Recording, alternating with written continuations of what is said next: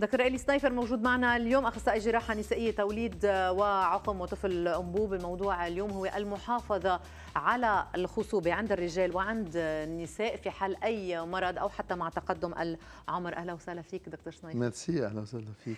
آه فإذا مين الأشخاص يلي بنخاف إنه يكون في تأثير بحياتهم على الخصوبة؟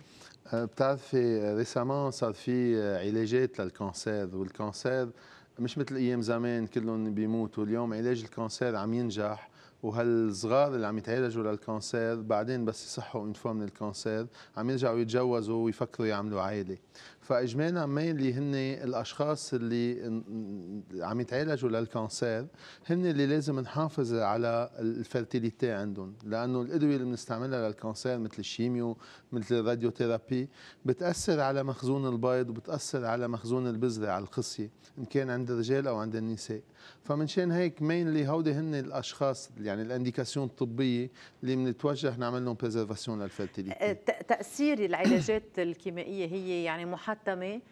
يعني أغلبية الاحوال إذا في cancer آه، ال chimio هو يعني علاج toxique علاج سام للمبيض عم عم نلاقي إنه في نسوان أو رجال صحوا من ال cancer من وراء ال chimio بس وصلوا بعدين مع بذرة صفر أو مع مبيض كثير ضعيف من. مخزون الإباضة. وهون فوق يعني كل الثقل النفسي من العلاج ومن المرض في الثقل النفسي على الخوف على الخصوبة يلي كثير مهمة بالنسبة للإنسان. أكيد. مشان هيك ال message دائما واضح آه، كثير محزن لما بنشوف شاب عمره 30 سنة عمل رح اعطي مثل عمل لانفوم مثلا هو صغير أخذ شيميو وصل عمر 30 سنة ما بقى في بذرة. بقى كثير مهم قبل ما ياخذ هالعلاج يتجلد له بذرة تنحفظ بالمختبر فينا نخليها بالأزوت ليكيد كذا كذا سنة. وبعدين لما بيقدر يعمل عائلة إذا ما عاد طلع بذرة طبيعية بالخصية في يستعملها كطفل أنبوب ويصير عنده ولد منه. زيت شيء عند النساء اللي بيعملوا cancer وبيصحوا. إذا أخذوا chimio آه، هالمبيض ما بيقعد يفرز كثير بيض فكتير مهم ينعمل ينعمل علاجات قبل كان conservation لشقفه من المبيض لل cortex ovarien أو للبويضات ال vitrification تبع الإمرأة. آه، حكينا كمان عن آه، تقدم بالعمر. بعمر معين هون يمكن النساء هلا هيدي indication sociale في كثير عالم. بتعرفي اليوم البنت ما بقى عم تتجوز عمر صغير. عم تلتهي بشغلها عم تلتهي بحياتها بشهاداتها. بقى بيوصلوا لعمر ال 35 بعد ما في projet زواج قدامهم نعم. أو ما عندهم حدا هلأ حاضر إنه يتجوزوا. فهودي أكيد بيعملوا شيء اسمه vitrification بيحفظوا آه، خلايا بيحفظوا البويضات.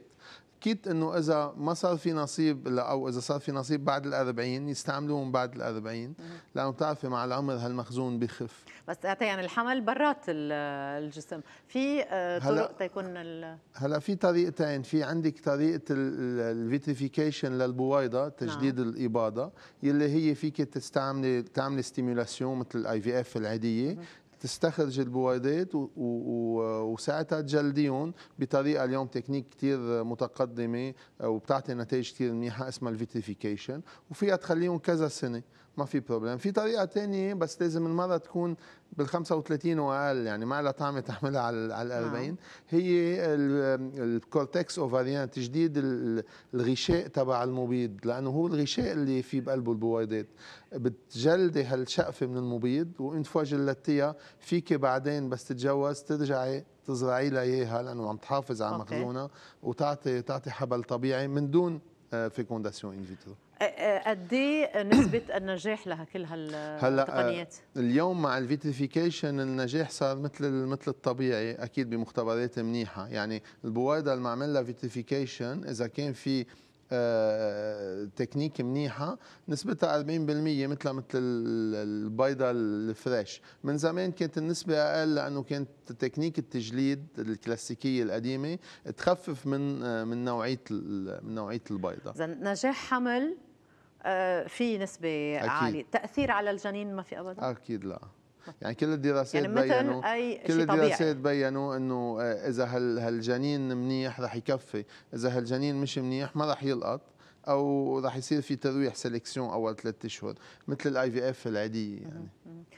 كل الأجسام قادرة إنه تكون يعني قادرين إنه تكونوا عم بتساعدوها هلأ هلأ حسب ال indication دائما ما في شيء هيك بالمطلق الكل. إذا مثلا رح أعطيك مثل إذا في حدا عنده cancer ovarien يعني بقلب المبيض ما بتقدر تجلدي ال cortex ovarien لأنه عم ترجع تنقلي لها الخلايا ال cancérigènes هيدي هيدي ال candidates أفضل تعملي لها تجليد للبويضات لأنه البويضة ما عم تنقل مع الخلايا السرطانية اللي بتقدر ترجع تبين.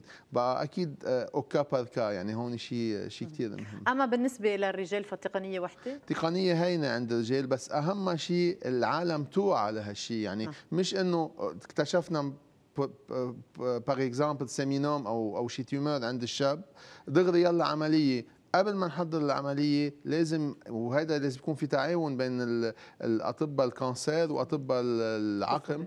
دغري ينبعث على مختبر منيح يتجلد كذا spécimen تيبقى له مثل banque de sécurité.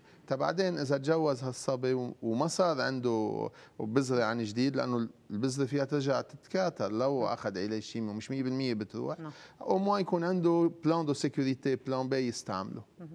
وهون آه، قد إيه يعني الشغل آه، بيصير بطريقة محترفة بلبنان وقد إيه نحن على أي مستوى يعني؟ نحن نحن يعني لبناني معروف مع إنه بلد بلد عالم ثالث بس نحن بتقنية بتقنية الطبية يعني هيدي avantage للبناني.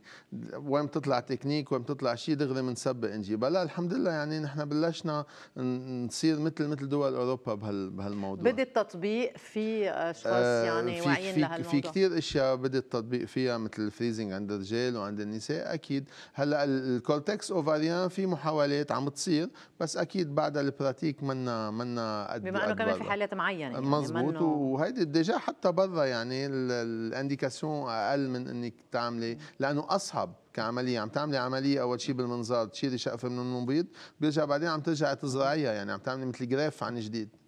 يعني أمل جديد لكل الأشخاص يلي عندهم أي مرض أو أي مشكلة مثل ما كنت عم بقول دكتور بتمرق آه، يعني بتمرق المشكل وبيمرق المرض وبنوقع بشيء ثاني بنصح من شغلة بنرجع بنوقع بشغلة ثانية فوجب إنه يكون في احتياط ومنيح إنه في كل هالتقنيات موجودة عندنا بلبنان. دكتور اليس نيفر اخصائي جراحة نسائية توليد وعقم وطفل انبوب أهلا وسهلا فيك وشكرا لوجودك معنا. وقفه وبنرجع نتابع